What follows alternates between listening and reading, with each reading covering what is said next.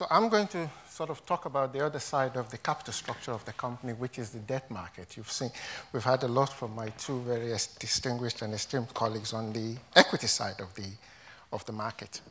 And the equity story in Africa has had, um, is beginning to get a reasonable amount of appreciation and a reasonable amount of understanding outside the continent.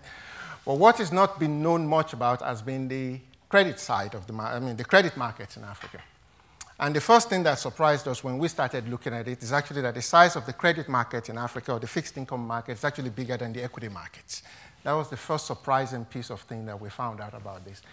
And also the depth and the number of countries. All those countries in blue are countries where you can trade in one form or the other domestic fixed income, which means you can buy into local, local either hard currency or, so, uh, or local currency uh, instruments. And there are 28 of these markets. Their combined market value, both if you take the Eurobond market, which is about $30 billion, and the local currency market, which is about $150 billion, you come to a combined total approaching $180 billion, whereas the equity markets in Africa, if once you exclude South Africa, is actually running at about $150 billion. So the, the credit market is bigger. The challenge is that you don't have a lot of opportunity, or you don't have a lot of ready-made packages that allow you to get excellent into it.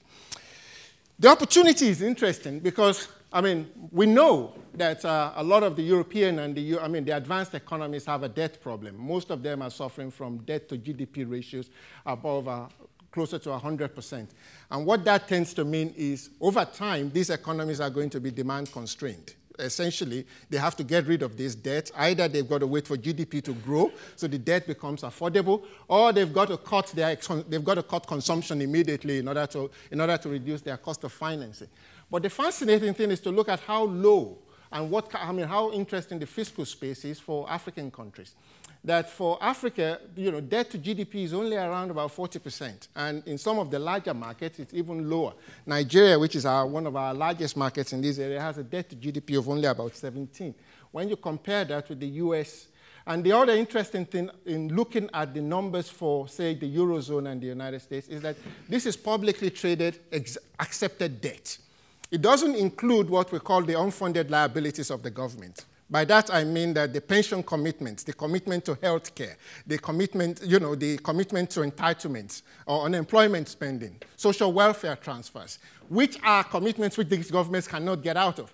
If you, if you took the NPV of those numbers and you added them to their publicly traded debt, then these are bankrupt economies.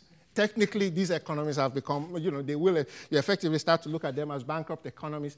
Yet, you still have people piling into US debt. And I always said, good luck to you.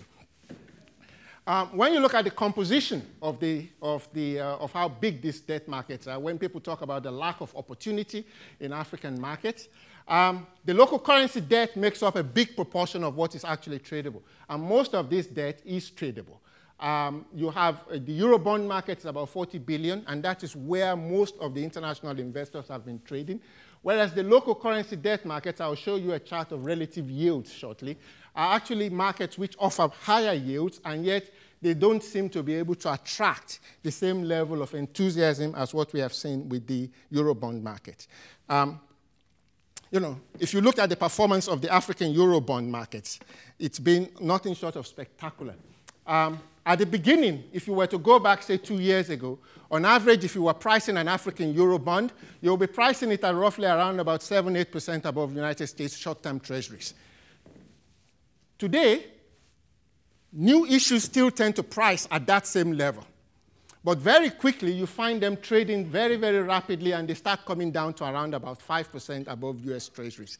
Now, this is a significant change in the fact that their secondary market yield is now become so, uh, there's been such a big dislocation between the secondary market yields that you find for African countries and, there's, and the secondary market yields that you find in the domestic market. And that is where we see the opportunity. Because if you were buying Nigerian Eurobonds today, you will get 5% or 4 I mean, some of them are trading at about 4%. And Nigeria is on a debt rating of around BB plus or BB minus, depending on which rating agency. Now, if everything goes well and Goodluck Jonathan wins the election next year and he doesn't do anything stupid and they, don't, they stop stealing oil and the corruption falls and Boko Haram stops killing people, and if, you know, if we get a fantastic story, Standard & Poor's and Fitch might move Nigeria from BB plus to maybe double A if it goes well. I, I, think Nigeria will attract AAA when my great-great-grandchildren are alive. No, I'm not going to see Nigeria attract AAA credit rating.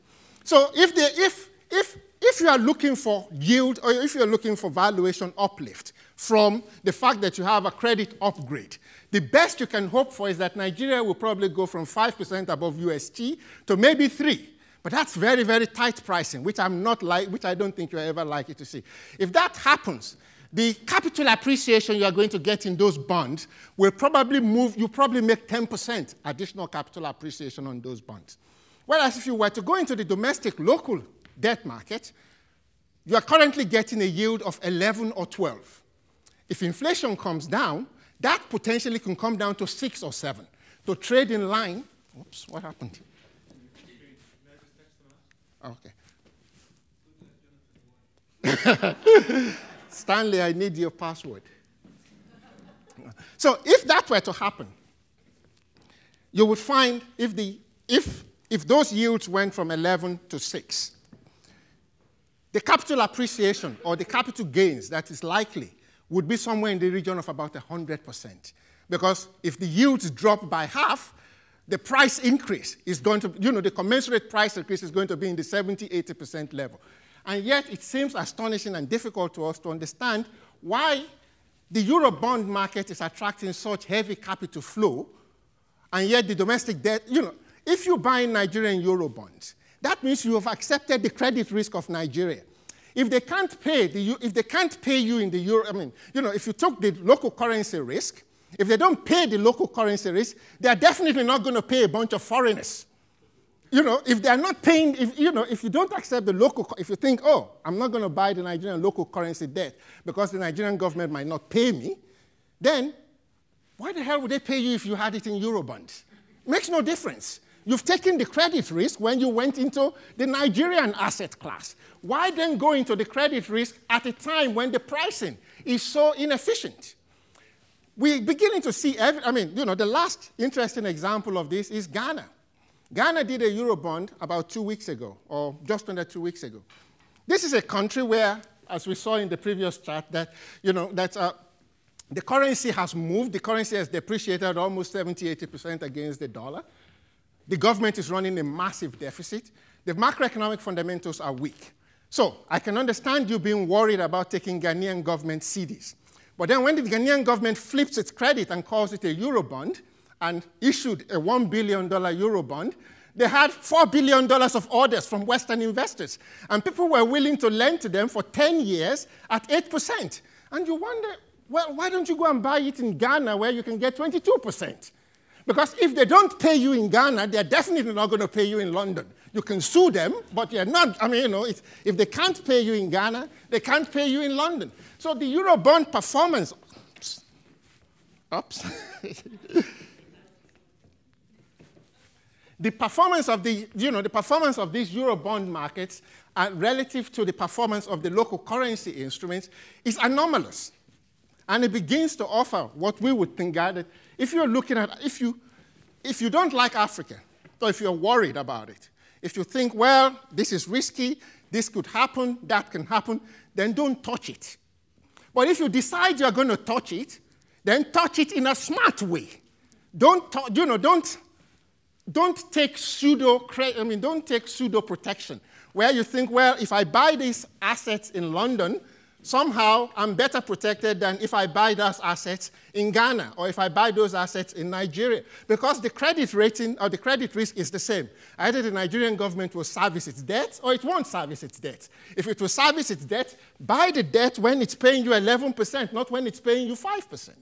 And the, an interesting way, because of, I mean, to talk about the problem which we face here, is to give you an illustration of what is driving the psychology of those who are doing these ratings. And here, I'm taking one of the premier credits in Europe, which is France, and I'm comparing it with one of the, what, one of the premier credits in Africa, which is Botswana. Now, if I left this off, and I blanked that off, and I had someone from Fitch come along and I told him can you rate those two countries? These are the numbers for Botswana.